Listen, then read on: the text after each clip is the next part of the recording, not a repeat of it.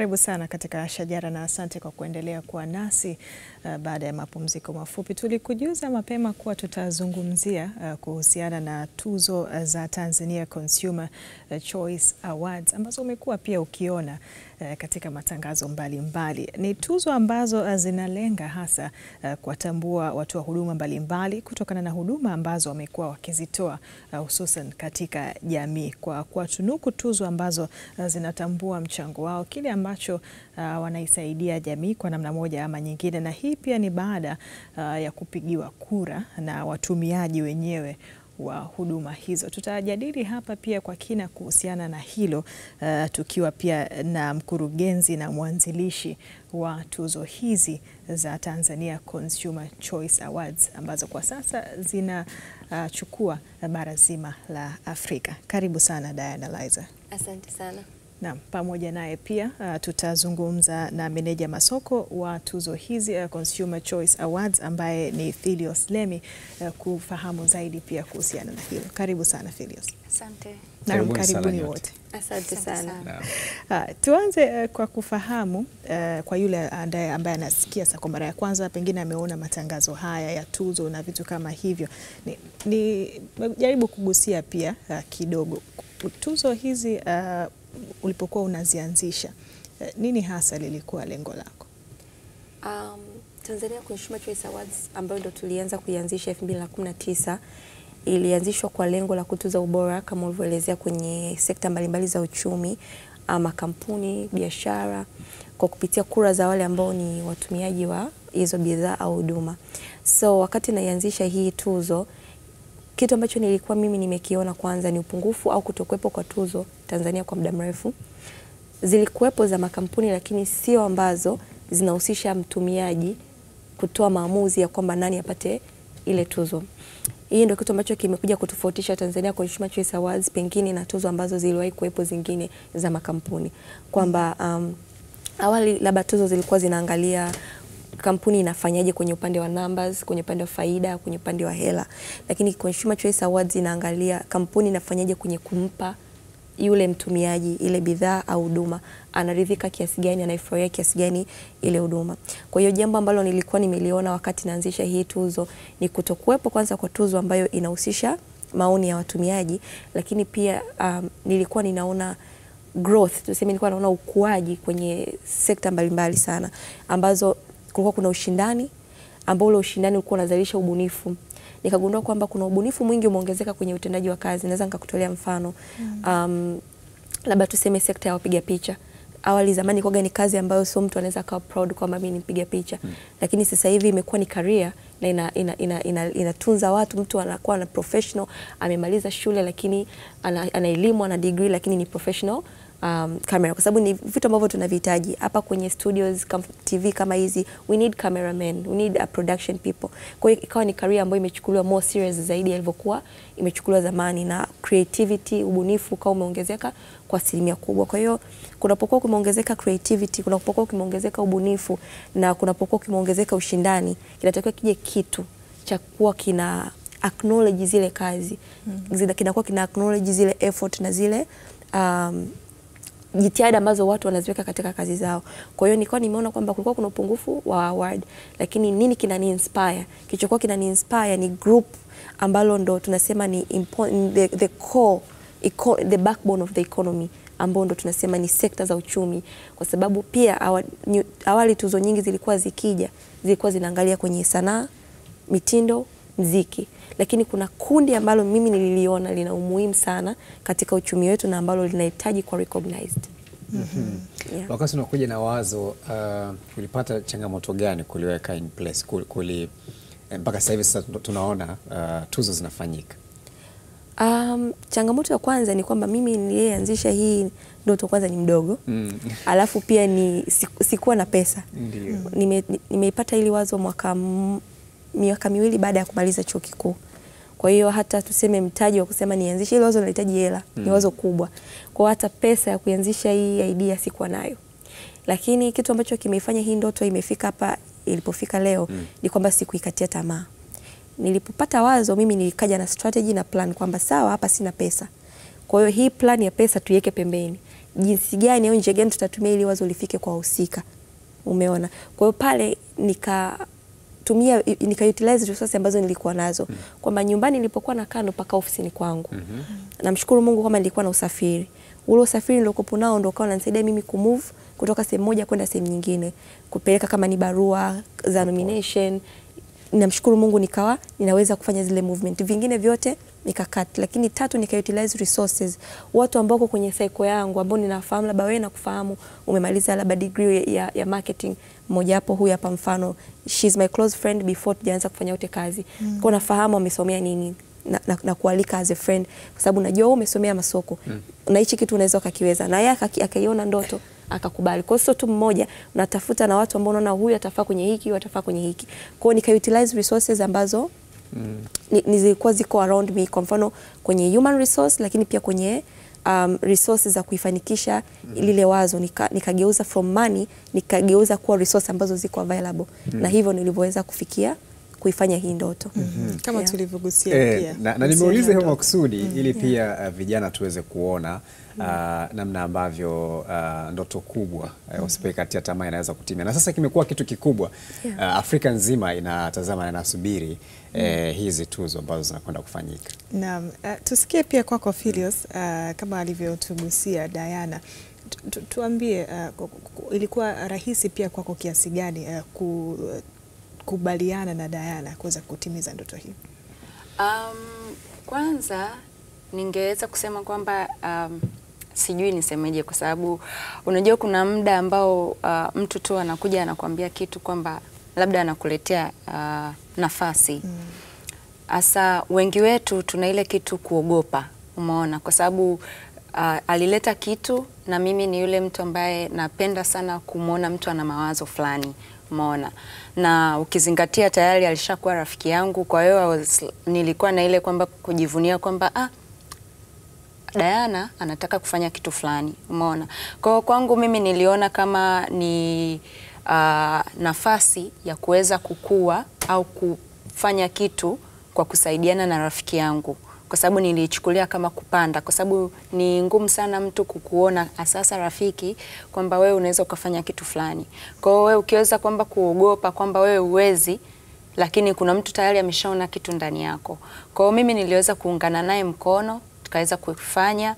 Um, nakumbuka haikuwa rahisi mwanzoni na hasa ukiwa kama unategemea kwamba support kutoka kwa watu na makampuni, lakini kilichokuweza kutupeleka ni ile moyo kwamba tayari ni ndoto na lazima fanyeje ifanyike.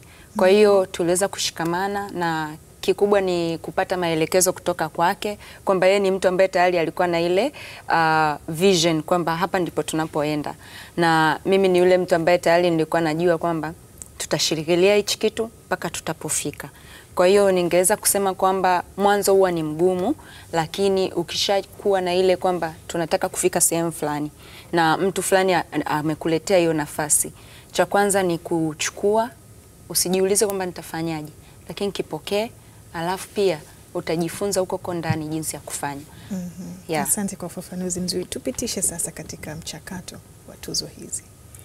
Um, tuzo hizi zina, mchaka, zina michakato mikuu miwili mm.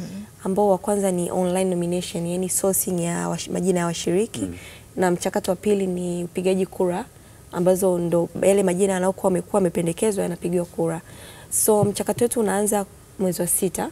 Mwaka huu ulianza mwezi wa sita ambapo ndo tulizindua rasmi tuzo na tukazindua nomination na tukatangazia wananchi kupitia vyombo vya habari mbalimbali kwamba sasa tunapokea mapendekezo ya nani ambaye atashiriki katika hizi tuzo. Sisi tunakuwa tumetengeneza vipengele ambavyo vile vipengele vinampa guideline yule anaye anaye toa mapendekezo kwamba anatoa anampendekeza nani. Kwa mfano labda kwenye kipengele labda cha makampuni ya simu tunakuwa tumeweka guideline kwamba mtandao wa simu labda wenye kutoa huduma yenye bei nafuu. Kwa hiyo yeye kama ni, ni mteja anajua kabisa kwamba hapa anatakiwa kumpendekeza nani na nani kutokana na jinsi yeye anaona zile huduma ni zina unafuu. Kwa hiyo tunatengeneza vipengele afu tunaziweka katika namna ambavyo vinampa guideline yule anayependekeza. Then tunapokea majina Tukishapokea majina sisi tunakuwa tuna kamati ya ndani sisi, lakini pia tuna bodi ya washauri ambao tunawashirikisha tunapopata yale majina, na tunakuwa tuna criteria za shortlisting kwamba kila kipengele kinawekewa criteria yake kwa sababu vipengele vinatofautiana. Kwa hiyo kulingana na zile criteria tunakaa na inachukua hata muda wa mwezi mmoja, tunakaa kikao hiki, tunaahirisha, tunaenda kingine, tunarudi, tunapitia yale majina then yata- yatakayopitishwa ndio atakayoingia kwenye kuania tuzo. Lakini kwa, kwa mfano kwa mwaka huu tulikuwa tunafanya Afrika, kwa hiyo ilikuwa vigumu pia kusema tutafanya kikao na Watanzania peke yake. Kwa hiyo tukafanya Zoom meeting ambao tulialika watu kutoka nchi zingine ya Afrika kama representatives, ambao wale watu tuliwapa yale majina, wakawa na wenyewe walikaa nao kwa muda kama wiki moja mbili, wana evaluate, je, kama ametokea labda Diana anafanya bora la, vitu, kitu kizuri labda Zambia, mimi niko Zambia, is it true Diana yuko real? Kwa tukafanya verification pia kwa wale wa nje. Tulivyofanya verification tukapata yale majina ambayo sasa mwisho wa siku ndio ndo, ndo list ya nominees, lakini watu tunapitia kipindi kingine tena cha kuwasiliana na hayo makampuni na hizo biashara. Tunatuma barua na tunatoa muda wa mwezi mmoja wa majibu kwa ambaye anaona hataki kushiriki katika tuzo, anapata nafasi ya kujitoa kwenye tuzo. Kwa hiyo tunahakikisha kwamba tumewafikia wote kabla ya kufanyaje, ya kuanza kutangaza then ndo tunaanza sasa kutangaza majina, ambapo tunatangaza majina huwa tunatangaza siku kumi kabla ya kupiga kura. Tunaamini kama ina, inatokea ile kipindi cha miezi miwili ya barua kuipata sasa kwenye mitandao ya jamii pia utapata tunatoa room ya mtu kusema lolote before voting haijaanza, na pia mtu asiseme kwamba voting imeanza by surprise, mimi ma, ma, shinda- shindano sio la haki. No, tunatoa majina, tuna- tunakuwa tumetoa gap ya siku kumi kabla kura zijaanza, then zinaanza kupigwa kura. Kura tunatoa gap ya mwezi mzima. Kwa mfano tulianza kupiga kura tarehe ishirini mwezi wa kumi mpaka tarehe kumi na nane mwezi huu ndo tunasitisha zoezi la kupiga kura kura kila mtu anaweza kupiga mara moja tu kwa muda wa mwezi mzima. Kwa hiyo tumeiweka imekuwa fair kusema kwamba wateja wangu mimi labda nilichelewa kujua, nimejua tarehe kumi, bado there is still time, bado unaweza kuwaambia wateja wako wakakufanyaje, wakakupigia kura. Lakini pia tumeiweka mwezi mzima. Kuna wateja wengine wako bize, kwa sababu kuna makampuni wengine wateja wao ni corporates, ni watu ambao ni makazini kama nyinyi, kwa hiyo wanahitaji kupata muda wawapige kura. So tumetoa siku 30 kumpa mtu nafasi ya kutosha kupiga kura, then baada ya kupiga zile kura ndio wanapatikana washindi ambao ndio huwa wanatangazwa kwenye fainali Mm. yeah. Uh, tofauti ya tuzo za mwaka huu na miaka iliyopita itakuwa nini? Tofauti ni kubwa, ni kubwa kwa sababu kwanza ya mwamko Mm. Mwaka jana na mwaka huu mwamko umekuwa mkubwa zaidi, kwa sababu impact ya mwaka jana ndio imeinua mwamko mwaka huu. That's one. Lakini two ni mwaka huu tumekuwa Afrika, sio tena Tanzania, kwamba katika vipengele mwaka jana tulikuwa tuna vipengele vya Watanzania tu kwa Watanzania, lakini mwaka huu tumeongeza chachu. Mtanzania anayefanya vizuri hapa ashindane na mtu mwingine anayefanya vizuri nchi nyingine, competition you know, kwa hiyo tume, tumeiona kama ni nzuri zaidi, kwa sababu kuna watu ambao wameonekana kuwa ni dominant kwenye market. Vipo vipengele ambao unakuta kabisa huyu kila mwaka anaweza akawekwa akajikuta anashinda yeye kila mwaka, kwa sababu ukiangalia in the reality if you check kweli anafanya vizuri. mm. Kwa sasa mtu kama huyu inabidi apewe challenge, akakutane na wakubwa wenzie katika sehemu zingine nanili katika bara la Afrika. Kwa hiyo tuzo zitakuwa nzuri za kimataifa mm. kwa sababu kule ndani hatutokuwa Tanzania peke yetu, tumeshirikisha balozi mbalimbali, tumeshirikisha watu wa nchi mbalimbali ambao watakuwepo. Kwa hiyo itakuwa ni event yenye hadhi ya kimataifa. Mhm. Na mpaka sasa ni nchi ngapi ambazo zimekubali eh, ama, ama watu wata, wata, wana, nominees hmm, watatoka kwenye hizo nchi ukiachana na Tanzania? nchi kama hazitopungua tano au sita. mm -hmm. Kwa mwaka wa kwanza tunaona ni mafanikio makubwa kwa sababu ndo tumeanzisha. mm -hmm. Kwa hiyo ndo na kama ambavyo mwaka juzi Tanzania mwamko ulikuwa mdogo lakini ulikuwepo. Mwaka huu ni watatu mwamko umekuwa mkubwa sana. Tunaamini kabisa kwa miaka inayokuja hawa wa nje hii impact ya mwaka huu itawaamsha zaidi na zaidi. Kwa hiyo tunatarajia kwamba kila mwaka wataongezeka, zitafika hata sehemu ni nchi zote Afrika zinajua na zinakuja. Yeah. Julius, tumeona pia kuna baadhi ya watu ni watoa huduma na wanashiriki eh, katika tuzo hizi, lakini miongoni mwao pia wakiwa ni wadhamini. Eh, Kwa, kwa upande wao ah, hawa ushiriki wao ukoje katika tuzo? Ah, kwa sisi tumeweza kuweza ku hatujataka kubana kwa sababu unaweza ukawa kwamba mtu ni mdhamini lakini pia vile vile huduma zake au uh, bidhaa zake zikawa pia ni bora na kuna uh, watumiaji ambao wanazipenda. Kwa hiyo tumeweza ku kusema kwamba hatubani kwamba mdhamini abakie kuwa mdhamini peke yake. Tumeweza kumruhusu pia mdhamini awe na naye katika nini, katika nafasi ya kupigiwa kura. Kwa hiyo kwetu sisi udhamini ni kitu kingine tofauti mm -hmm. na kuwa, kuwa mshindani ni kitu kingine tofauti. Hivyo vitu ni haviingiliani kabisa. Ndio. Labda kwa kuongezea tu ni kwamba mdhamini anavyosema tumewatofautisha ni kwamba unaweza kuwa mdhamini na usishinde tuzo. mm. Unaweza pia kuwa mdhamini na ukashinda tuzo. Kuwa mdhamini hakuathiri kushinda au kushindwa, na ndio sababu hata mwaka huu tunao watu wanaotusaidia kukagua um, system ambayo na kura zinapigiwa. Kampuni ambayo inaaminika kabisa ya PwC wanatusaidia kuka- kukagua kule matokeo kwamba yatakayotoka kweli ni matokeo sahihi. Kwa hiyo kinachompa mtu tuzo ni kura sio kuwa mdhamini ila kuwa mdhamini ni platform, kwa sababu hii ni platform kubwa. Kwa hiyo kwa kampuni, kuna kampuni nyingine anatamani kuwa kupata ile matangazo, kupata ile mileage, mm. lakini pia na, ana haki ya kuwa mshiriki. Kwa hiyo huku tunaweka kwamba huku unapata matangazo, mm. lakini kikubwa ni kwamba hii tuzo haiwezi kufanyika bila wadau, na asilimia tisini ya wadau ambao ndo wanasponsor vitu kama hivi ndo hao hao ambao ndo wanashiriki katika vipengele. Kwa kwao ni kitu ambacho kimekuwa changamoto kwetu kutenganisha. Ndio maana sisi tukaona kwamba wawepo, lakini kutakuwa kuna wasimamizi ambao wanakagua. mm. Yeah. Uh, hawa watu wa huduma wako wa, wa ngazi tofauti tofauti. Kwa mfano kama ni wafanya biashara, kuna makampuni makubwa, kuna wafanya biashara wakati na wajasiriamali wadogo. Uh, Hebu tuambie hizi tuzo zimeangalia vipi ukubwa wa watu wa huduma na udogo wao?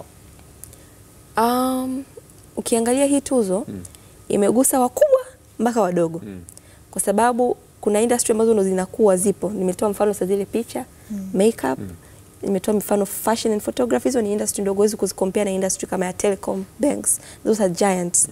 Kwa sisi wakati tunaanzisha hii tuzo tulichokuwa tunakiangalia ni vitu ambavyo ni vya muhimu kwenye uchumi ambavyo vinakuwa. mm. Tukaona hawa wadogo wanafanya vizuri sana mm. na wameifanya career imekuwa serious and they need to be wanahitaji ku, ku, kuwa motivated mm. si ndio? Lakini hawa wakubwa pia wanafanya kazi kubwa na wenyewe pia wanahitaji kuwa recognized. mm. Kwa hiyo tukaona kwa sababu wote wanagusa uchumi, vitakuwepo vyote mm. na vyote vitapigiwa kura. Kwa sisi tumegusa kuanzia giants mpaka zinazokuwa. Na, na, natamani kujua pia kuhusu uh, makundi ambayo u- wana, wame, watu wengi sana wamejiajiri katika sekta binafsi, kwa mfano uh, bodaboda, machinga, uh, mamalishe. Kuna namna yote mmewatazama? Ah, hapana. Kwa sababu sasa ukisema uende kwenye mamalishe, mamalishe wako wengi. If you have to iki- iki- ikibidi uguse mamalishe inabidi uguse kwa level ya restaurant. Unaelewa? Kwa sababu mamalisha sasa ukisema uwape tuzo ni wengi mno. Yaani uta utamnominate nani? Umenielewa? Au uh, bodaboda if tukisema tuguse kwenye usafiri kama hivyo, tutagusa kampuni ambayo ni kwa sababu nao hatuwezi kushika watu wote. mm. Yaani itakuwa ni it will be too broad too mm. big kuihandle, lakini tukisema tuguse makampuni kama ya pikipiki then tuangalie Bolt tuangalie sijui hawa nani ambao wana, wana utilize na kuweka katika system moja mm. kuwa katika chini ya mwamvuli mmoja. Kwa labda tukisema tushirikishe hivyo vitu, tutashirikisha hayo makampuni ambao chini yake ndo kuna hawa watu. Kwa let's say kama kwa mfano kwenye mamalishe tuna vipengele vya restaurant, hatujafikia ngazi ya, mm. ya mamalishe kwa sababu nao award pia haiwezi kugusa kila mtu. Mm. Award inagusa wale wanao outstand kwenye society. Mm -hmm. Yes. Philius, bado muda upo kwa watu kushiriki katika uh, kupiga kura. Uh, kwa yule ambaye anapenda pia kufahamu ni kwa namna gani anaweza akafanya hivyo? jinsi ya kupiga kura. mm -hmm. Uh, jinsi ya kupiga kura kwanza, uh, mtu anaweza kuingia kwa urahisi zaidi, anaweza kuingia katika page yetu ya Instagram. Pale juu katika description kuna link ambayo itampeleka moja kwa moja mpaka katika website yetu. Akiingia katika website kwa juu mkono wa kulia, akiklik pale itaenda kumpeleka kwenye vote. Kwenye vote pale itamwonyesha uh, category zote ambazo anatakiwa kupiga kura, aidha akichagua kati ya kategori, kuna banking, insurance, zote ambazo zipo za chochote ambacho yeye anategemea kwamba ni mtu gani ambaye anampa huduma au bidhaa anayoipenda. Akishaingia pale, kuna sub category pia ata click kutokana na jina lolote ambalo yeye atakuwa ameenda, aidha jina la kampuni au jina la mfanyabiashara ambayo atapenda kuipigia kura, ata click pale mara mo- mara moja kisha itamletea submit vote. Uh, akishaingia kama alivyosema awali uh, mwenzangu Diana kwamba unatakiwa kupiga kura mara moja tu. Kwa hiyo akishaingia, akiingia tena, akiangalia katika ile kategori ambayo ameipigia kura, atakuta imemwambia kwenye, kwenye au sub category itakuta imemwambia thank you for your vote. Kwa hiyo hapo atakuwa ameshamaliza kupiga kura yake. Yeah. Uh, mbali na, na mchakato wa kupiga kura uh, Mtanzania ama mtu ambaye anatamani kufuatilia hatua kwa hatua mchakato wa uh, tuzo unavyokwenda mpaka siku yenyewe ya kukabidhi hizo tuzo anafuatilia wapi? Uh, ili kuweza kufuatilia mm. kwa sasa hivi uh, cha kwanza kabisa anaweza kuingia katika page yetu ya Instagram pale mm -hmm. tumeweka updates zote ambayo inaitwa CC, CC Awards Africa mm -hmm. bila kuacha nafasi yoyote. mm -hmm. Na kingine pia anaweza kuingia uh, kuwafuatilia Azam ambao pia ni partner wetu. Kingine anaweza kuwafuatilia katika media sponsor nyingine ni TV, TVE pamoja na EFM mm -hmm. na Concept TV. Ndio. mm -hmm. Diana, nini ambacho pia ungependa kuwajuza uh, wa Tanzania pia kuhusiana na tuzo hizi uh, cha pekee kabisa ambacho unaweza pia ukawashawishi kwa namna moja ama nyingine kufuatilia? Um, kama tulivyosema hizi tuzo zitakuwa ni tuzo zenye hadhi ya kimataifa, kitu ambacho hakijawahi kutokea hapa Tanzania. Ni tukio la kihistoria na linaenda kufanyika tarehe 28 mwezi wa 11 pale Diamond Jubilee. Kwa hiyo tunawakaribisha Watanzania wote kuhudhuria. Kama alivyoelezea mwenzetu, ukurasa wetu wa Instagram ni CC Awards Africa. Ukiingia kule, tuna namba za simu, tunatoa maelekezo, lakini pia unaweza ukatupata, tunaweza tukatoa namba za simu sifuri saba nane sita arobaini na mbili arobaini na mbili sabini na mbili au sifuri sita mbili mbili mbili moja moja nne sita nne. Kupitia hayo mawasiliano, kama unataka kufanya reservation au kununua tiketi yako, unaweza ukawasiliana na sisi na tuta arrange, utafanyiwa delivery ya tiketi yako mpaka ulipo. Mhm. Asante sana uh, Philios Lemi na kushukuru pia uh, Diana Liza kwa kuungana nasi na karibuni tena. Asante sana. Naam, shukran. Na tulikuwa tukigusia na kuzungumzia kuhusiana na Tanzania uh, Consumer uh, Choice Awards, uh, tuzo ambazo zinalenga hasa kuangalia ubora wa uh, wa watoaji huduma, na unaweza ukashiriki kwa namna moja ama nyingine. Na tulikuwa hapa uh, na Diana Liza ambaye ndiye mkurugenzi uh, na mwanzilishi wa Consumer Choice Awards pamoja na Philios Lemi ambaye ni meneja masoko uh, wa Consumer Choice Awards. Uh, hii ni Shajara, tunahitimisha hivi uh, nikiwa na Goodluck Paul, lakini bado tunaendelea nawe.